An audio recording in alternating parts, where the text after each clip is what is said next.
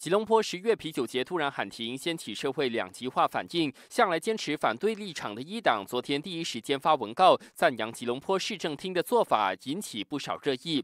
而一党联邦直辖区青年团宣传主任莫哈默沙希尔今天在脸书贴文，让这起风波继续延烧。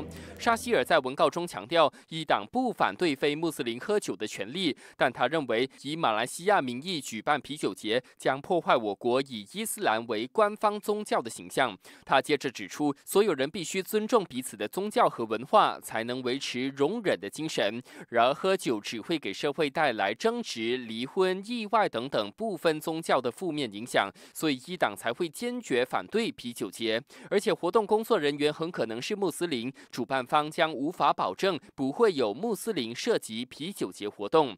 最后，沙希尔还强调，穆斯林非常尊重非穆斯林的文化，但我国人口占多数的是穆斯林。因此，他促请非穆斯林不要做出一些会影响伊斯兰教的挑战行为。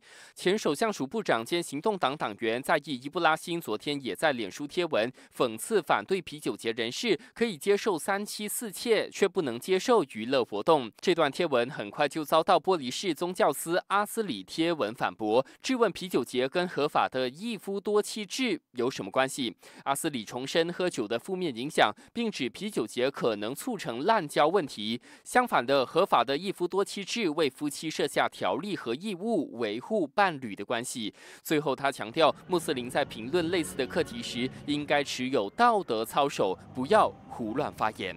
NTV 七综合报道。